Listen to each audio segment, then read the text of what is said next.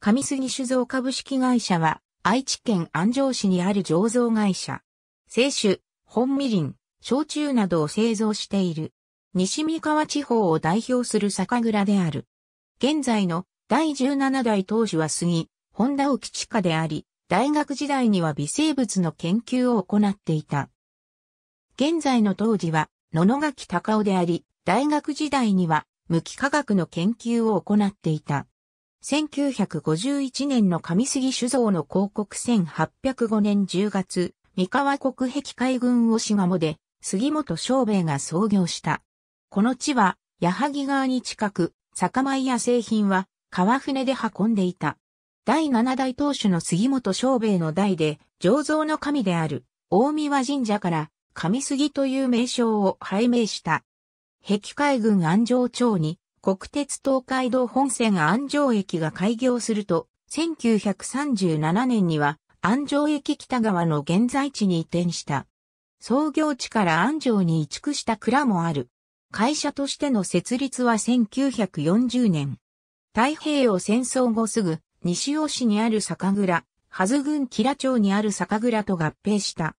1983年には、名古屋国税局が主催する、新酒鑑評会の銀城酒部門で、首位賞を受賞した。2001年には、全国日本酒コンテストの普通銀城、純米銀城部門で、純米銀城、杉の前がグランプリを受賞した。2002年には、名古屋国税局が主催する新酒鑑評会の銀城酒部門で首位賞を受賞した。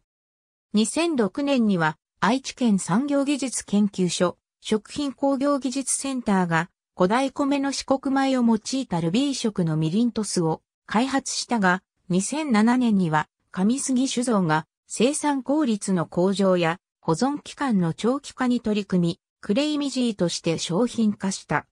2010年には、クレイミジーが2009年度有料、ふるさと食品中央コンクールの新技術開発部門で最優秀賞の農林水産大臣賞を受賞した。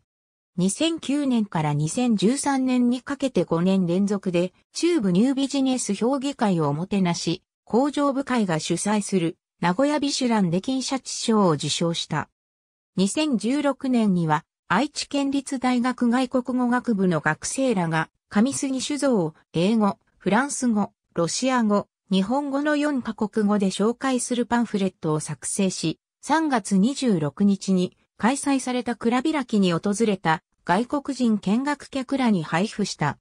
酒米は愛知県産にこだわりを持っており、主に奥三河で生産されている、夢山水、安城市で生産されている、若水を使用している。若水は1980年代後半に安城市の農業試験場で開発された酒米であり、2004年から安城市の農家に生産を依頼している。2015年時点では原料米の90%が安城市産だった。仕込み水はもちろん雑用水にも安城市を流れる矢作川の伏流水を用いている。この地下水はミネラル分が少ない軟水であり、上杉酒造の敷地内にある井戸から汲み上げている。井戸の地下水は一年中、摂氏17度から18度に保たれている。安城七夕祭り、上杉酒造の蔵開きや新酒祭り、蔵見学などの際には、仕込み水を無料で配布している。蔵開きには3500人以上が詰めかける。精米工程は外部委託する酒蔵が多いとされるが、上杉酒造では敷地内に精米所を設けている。酒米、若水は精米が困難な品種であり、かつては精米部合65%が限界とされていたが、自家精米で精米技術を向上させることで45%までの精米が可能となった。